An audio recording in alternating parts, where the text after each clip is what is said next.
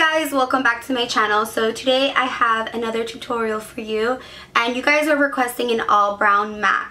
Kind of like smoky eye, kind of like a daytime appropriate smoky eye. I did this look on a client about two weeks ago I want to say. It was just like an all brown, rich, chocolatey, smoky um, with no liner or actually like very limited liner and some like wispy lashes. I changed the lip up on her. I did like a really pale nude but you guys always see me in nude colors so I figured I would switch it up so I used Dusty Rose from Anastasia with Pure Hollywood on top just a little bit to lighten it up. This look is super easy to recreate so and really really simple and quick so I hope you guys enjoy this. I'll probably do a darker version of this look like maybe an even darker brown on the lid or maybe a black. Let me know if you guys want to see that. I definitely want to do the black smoky eyes so that's why I kind of went a little bit lighter with this one because I know some people don't like that like intense smokiness. So if you would like to see how I got this look, then keep on watching. Hey guys, so for this tutorial I actually teamed up with Avon. So I'm starting off with their Face Perfector and this has SPF 20 and this is going to minimize the appearance of pores and keep you matte all day. I actually really like the texture of this one. I feel like it really did mattify me and it gave me a really nice smooth canvas. My mom actually used to sell Avon back in the day, and Avon's all about empowering women. They've been around for over 125 years, and they have so many representatives, like over 6 million. So when they reached out to me, I was like, yes, I am so down because they are all about women empowerment. They actually reached out to me, so I did get these products sent for free, so I was trying them out, and I did actually really like them. So I'll tell you guys more about how I felt about each product as I go along. But for a foundation, I'm using the L'Oreal Infallible Pro Matte 24 Hour Foundation in the shade 108 Caramel Beige. And it is a little bit light for me, but I am going to bronze up my face with one of Avon's bronzers because the shade 109 was a little bit too dark for me in the L'Oreal foundation. So I'm using shade 108. And I know I used to think that Avon you could only buy through a representative, but there's actually three ways. You can buy through a representative or online. And you can also just order directly from avon.com. So I'm using their concealer, and this is the Total Extra Lasting Concealer in the shade Medium. And I really liked it. I felt like it was bright enough, but it wasn't like a full coverage. It was a medium coverage, which I actually like. I don't like it too thick under my eyes, so it was perfect. And then I'm setting it with the MAC Set Powder. This is really nice and thin, so it's just like the Laura Mercier, it gives me the same effect, but sometimes I just like to switch it up. Now to bronze up my face and give me a little bit of a glow, I'm using the Avon Bronze Glow Bronzing Pearls, and this is in the shade Bronzed. I'm not really used to using bronzing pearls or like pearl-esque pearl type products, but it's actually pretty fun, and I'm using this Sephora brush. It was like a, I think, limited edition brush, um, but yeah really it's really pretty because it has like flowers. I just got it because of the flowers. So i'm just bronzing up around my face to give me back some color. This color is a bit warm so it's almost on the like reddish tone. And then i'm going to prime my eyes and i'm using mac soft ochre paint pot. And sometimes i use a brush and sometimes i use my finger. I kind of alternate between. Mine is kind of drying out so yeah there's that. And so this is basically going to ensure that the shadow lasts all day and all night. So I'm using, again, soft ochre, which is a nice yellow toned color. There also is Painterly, which is more neutral based. I switch between those two. And then I'm going into the Viseart palette and I'm using this warm shade. Now you don't have to go out and get this palette. It is very expensive. You can just use any warm tone neutral transition color. And I'm using my favorite brush, the Sephora Pro Crease Brush number 10. And I'm just placing this into my crease as a transition. Kind of messily. You want to just lay this color down first. And then we're going to go into the matte brown. This one's kind of cool toned it's it's kind of weird. It's kind of cool, but it's kind of warm. It's a it's a very odd brown, but I do really like it. And I'm gonna pack this on with the Sigma brush. Now you can use any like flat brush. As you can see, I had some fallout on my cheeks. So you want to kind of tilt your head back. I didn't do this, but you want to tilt your head back a little when you're applying a color like this or any pigments or glitters to avoid any fallout. Um, just tilt back and then pack on. But I had some fallout. I can just dust it off later. So I'm just packing and packing. Then I'm going in with this slightly darker chocolate color. And I'm using, I believe, a Morphe brush. Yes. And I'm just putting this into my crease to deepen things up. This color definitely adds a lot of dimension. And it's really going to pull the look together. So for this look, you really just need like three shades of brown. A light one for your transition, one for your packing on, on the lid, and then one in the crease.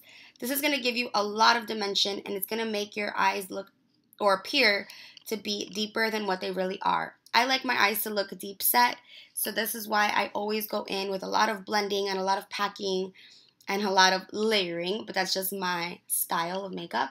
And then I still felt like the brown wasn't rich enough, so I went in with the original Too Faced chocolate bar palette and I'm using this brown matte shade just to kind of place it right on top to give it a little more richness I really wanted the color to look very chocolatey and very rich and brown and then back in with that blending brush because that's just the way I like to do my makeup. I like to pack and then blend and then pack and then blend. I find that it gives me the most blended appearance and everything just looks seamless. For some reason, Coco and Princess always want to bark when I'm doing a voiceover, but that's okay. I still love them. I am tight lining with Tarina Tarantino Tommy Jet Black Liner.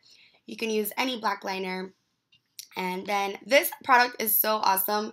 It's this Avon Mega Effects Mascara. Okay, so it has like this really cool contraption for a wand, which actually like swivels. And I just want to point out how amazing do my lashes look. I mean, like seriously, they looked so black and you can do this look in, with just mascara like if you're going to work or school you don't have to apply falsies but you know i am but this mascara, like I am so intrigued by it. I tried it out a couple of times and every single time I was just like, wow, my lashes look not long, but just black and voluminous, which I really enjoy because my lashes are long but very thin. So I was enjoying that. Yes. then I'm going in with this Avon Glow bronzing powder in the shade Warm Glow. And I'm just bronzing up my cheeks. I missed doing this, just applying like a bronzer on my cheeks. It really just gives you a lot of warmth and just pulls the look together. I am going to be applying a little bit of blush, but I wanted the bronziness to really stand out more than a blush color. So love that. And I'm using a Mac Daddy brush and just blending, blending, and blending upwards. Then I'm using these Social Eyes Glamorous Lashes. I wanted something wispy and natural um, so you can still peek through and see the shadow. Because if you use a really intense lash with this look, because we're not using liner, it kind of is going to take away from the shadow and all the blending that you did. So I like lashes that you can kind of see through for this kind of look. Ardell Demi Wispies are an awesome alternative. I love Ardell Demi Wispies from the drugstore. Like one of my favorites of all time. Then I'm using this Charlotte Tilbury um, eye pencil. It's just a rich brown cocoa shade. You guys know I love me a brown liner. And then I am using that warm brown weird color underneath my eyes. This is my favorite brush for underneath my eyes. It's the Kat Von D shade eye shade light eye palette. No, shade light eye brush. There you go. And I feel like it's just the perfect brush for underneath the eyes. It has a pointed side. We can really like pack on a deep color and then you can blend everything out with the other side. So it's dual ended and I am so obsessed. And don't be afraid to just pack on that brown until it gets to the richness that you really want it to be. You can do a light wash of brown or a really like deep one. This is a new product that I'm trying. I fell in love with it after this time that I used it. It's the Hourglass Sculpting Pencil, the Arch Brow Sculpting Pencil in Warm Blonde. Obviously, I'm not blonde anymore. Yes, I went black, black to black, but I like using lighter shades on my brows. You guys know this. So I was so impressed by this brow pencil. My brows looked hairy and just like full, but not too defined, you know, because you guys kind of seem to like me with more natural-esque brows and not the like really sculpted brows. I mean, I like my sculpted, you know, Inglot gel or dip brow kind of brow too, but some days you just don't want that. Like for a daytime look, you just want a softer brow. And you guys have been requesting me to do looks with softer brows. So I listened and here we go. These are just softer but still like bushy and dark, but like not too dark brows. Are you feeling me? Are you getting what I'm saying? Like the color is light, but they're bold brows. There you go. That's the word I was looking for. Bold, bushy, and full, but not too defined. And I'm actually really feeling it. So talking like um, brows. Well, brows are really important. So I feel like I can ramble about brows forever and ever And it, you guys completely get me. You guys just totally get me. then I'm cleaning them up just because they were just a little bit too dark for me and I feel like cleaning them up kind of makes me feel a little better. so I'm using this MAC concealer in NC20 and I did highlight on top of the brow. Now, a lot of artists will tell you to not use concealer on the top of the brow, just underneath. But as long as you blend it out really well, I think you should be fine. I mean, obviously, you don't want to use way too light of a concealer, but I think like one shade lighter is fine.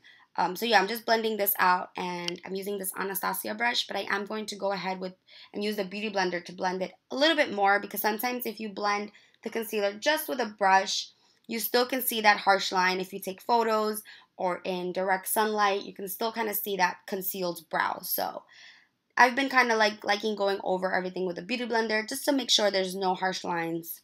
You don't want to be that girl.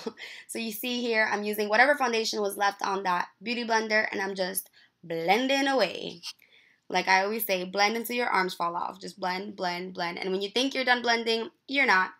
And here I'm using Anastasia Beverly Hills this is the shade Dusty Rose and I love it. It's so pretty. And today I wanted to do a slightly overfilled lip, just a little bigger. Normally I would go in with a lip liner, but I don't really have a lip liner that I like for this. I guess you can use Whirl or Soar, but sometimes I just don't feel like using lip liners. It's just a little bit too much of a hassle, especially when I'm in a rush. So I just made sure to like line my lips with the liquid lipstick, if that makes any sense, with the doe foot. You can kind of get really close and yeah. Then I'm using that Viseart palette, the white shade, on my brow bone. Because you know I like me a bright brow bone. My phone is going off. Oh, don't you miss my old voiceovers where my phone would just go off every five seconds and you guys would be like, I thought that was my phone vibrating. I miss that. So now I'm using MAC Extended Play Giga Black mascara on my lower lashes because that is my favorite one to use. And I made the mistake of putting mascara on these lashes. It didn't go so well. Then I'm using a little bit of MAC Peaches, like the tiniest bit. And I'm going to be extra and I'm going to use two highlights. I'm using Anastasia Riviera and So Hollywood. These are brand new. I got them on Macy's.com, I think like two weeks ago. I want to say two weeks ago. Yes! So first I use Riviera. So right now you're seeing Riviera in action.